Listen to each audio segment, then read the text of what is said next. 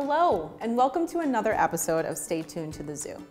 Before we jump into today's episode, I'm going to challenge you to do a mystery drawing with me. And you will need a few things to get started. Go ahead and get a piece of paper and something to write with or draw with.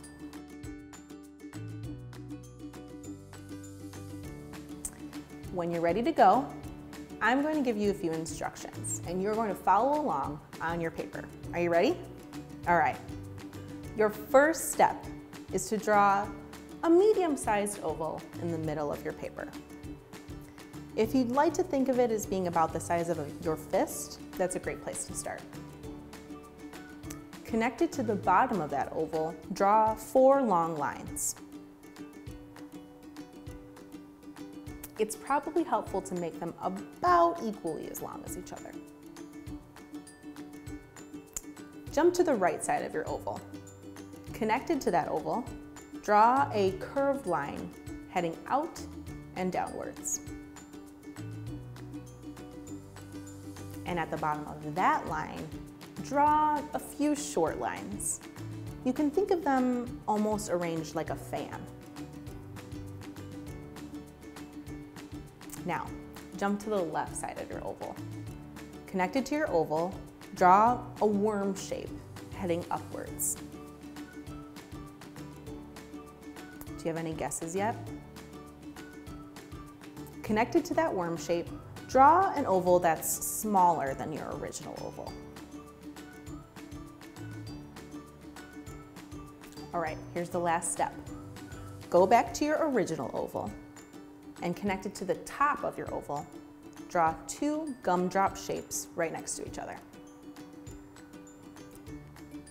Can you guess who we're visiting today? Hopefully you said the camels. Let's go. Hello to you all and welcome to Lincoln Park Zoo. We are so glad that you're here with us today. Have you ever seen an animal and wondered to yourself, why in the world does that animal look that way? Many animals have strange and wild adaptations, and today on Stay Tuned to the Zoo, we are going to plod on in and meet one of these wildly adapted species, the camels. From their characteristic humps to their shaggy fur and even their wide feet, almost everything you notice on the body of a camel helps to tell the story uh, of how they are adapted to extreme environments, including the sometimes harsh winters here in Chicago. First, allow me to introduce you to the four camels who live right here at Lincoln Park Zoo. There are three adult females, Mira, Indy, and Nissan, and one adult male, Scooter, who live together in a social group called a flock or a caravan. They have multiple spaces called yards here at Lincoln Park Zoo, so while we're chatting, you may notice them staying around in one place or they can move about their habitat. The choice is completely theirs. When it comes to the two main types of camels, Bactrian and Dromedary, there's a neat trick to tell which camel you're looking at by their humps. I will teach you the secret.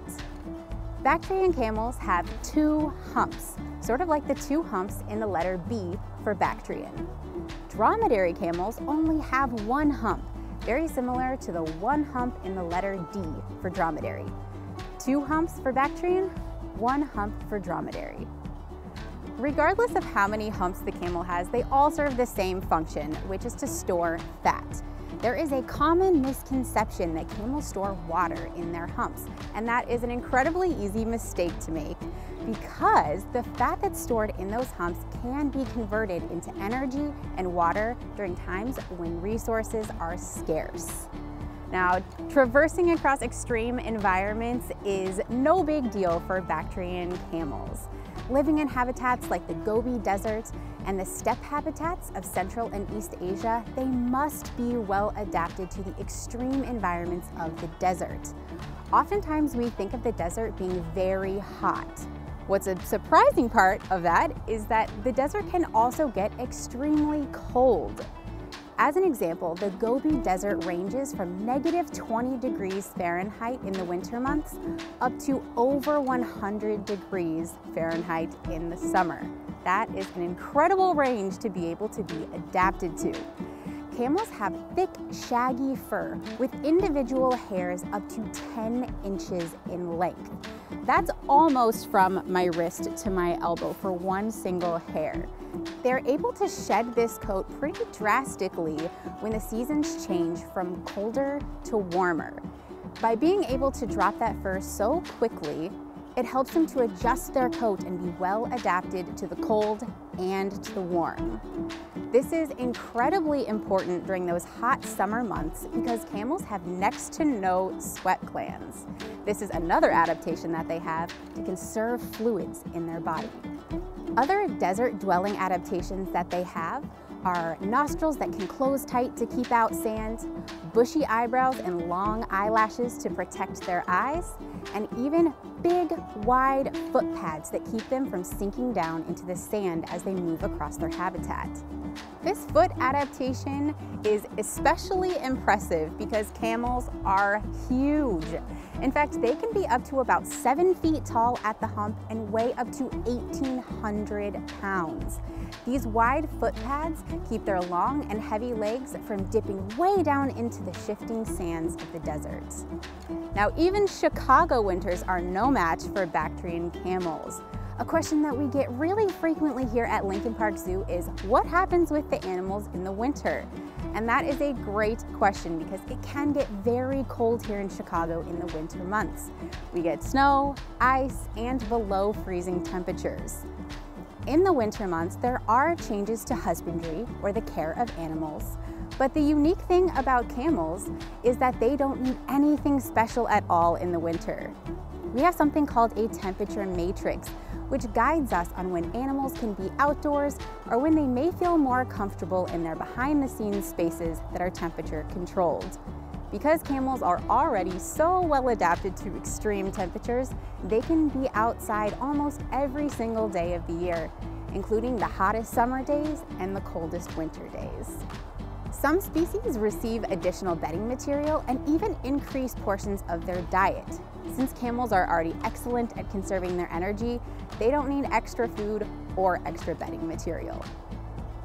While camels can survive extreme conditions, here at Lincoln Park Zoo, they always have access to fresh water, their vet-approved diet, shelter from the elements, and plenty of choices on how and where to spend their time in their habitat with the rest of their caravan. Thank you so much for joining us today to learn more about how camels are adapted to extreme environments through their specialized fat storing humps, unique features like bushy eyebrows and long eyelashes, and the ability to withstand Chicago winters right here at Lincoln Park Zoo. All right, we just learned all about how camels are animals of extremes. But just how extreme are they? Let's go ahead and visualize three of their superpowers. Jordan told us that camels can go long stretches without food and water. But what happens when they do need to refuel? When a camel gets thirsty and it's time to take a drink of water, they can drink about 30 gallons of water in just 13 minutes. But what does 30 gallons look like? This bin is a 15 gallon bin. A gallon is just the same as that gallon of milk in your fridge at home. So to fill this up, I would need 15 gallons of water, 15 gallons of milk, and then another one filled with 15 gallons of water, and that would be what a camel can drink in 13 minutes. Now as humans, it's recommended that we drink about half a gallon of water per day, spread out over the day. So in order to drink the same amount of water as a camel, it would take us 60 days or two months just to drink the equal amount. And 30 gallons of water is not always easy to come by in the Gobi Desert. So it's a good thing that the fat stored in their humps can be converted to water when needed. Speaking of humps, how much do those things weigh? The largest Bactrian camels are going to weigh around 1,800 pounds. Most Bactrian camels are going to hover in the 1,000 to 1,300 pound range. They're pretty big. Each hump can store up to 80 pounds of fat. On a Bactrian camel, there are two humps, so that means they're carrying 160 pounds of fat on their back. That's about 13% of their whole body weight. Now, what would that look like for me? I'm 5'3", The average 5'3 female weighs around 120 pounds. So 13% of that weight would be 16 pounds. Let's see what that looks like. I have a few tree stumps here. Each of them weighs about four pounds, so 16 pounds total, and a backpack. I'm gonna load it up and see what it feels like to have a camel's hump.